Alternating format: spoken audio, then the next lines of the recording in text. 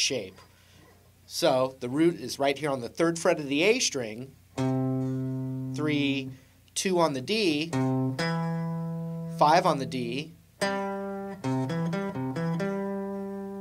Then you have three, five on the G. Then you got to do a weird thing for right now, and we're going to roll it over. Fifth fret on the B. And then third on the high E. And then sixth on the high E. And that is the C7 arpeggio with the root on the A string.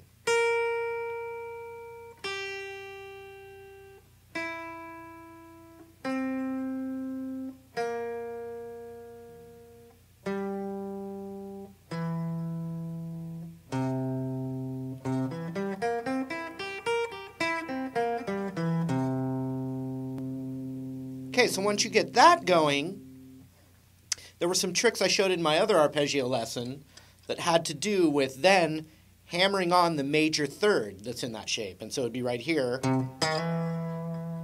It's that second fret. You'd either hammer or slide. And then add that to the arpeggio.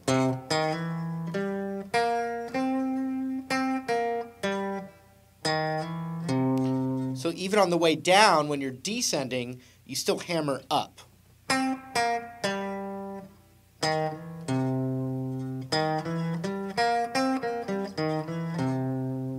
So that same spot is going to be on the fourth to fifth on the B string. So when you add that,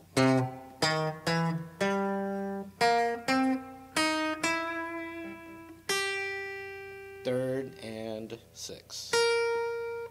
Back down.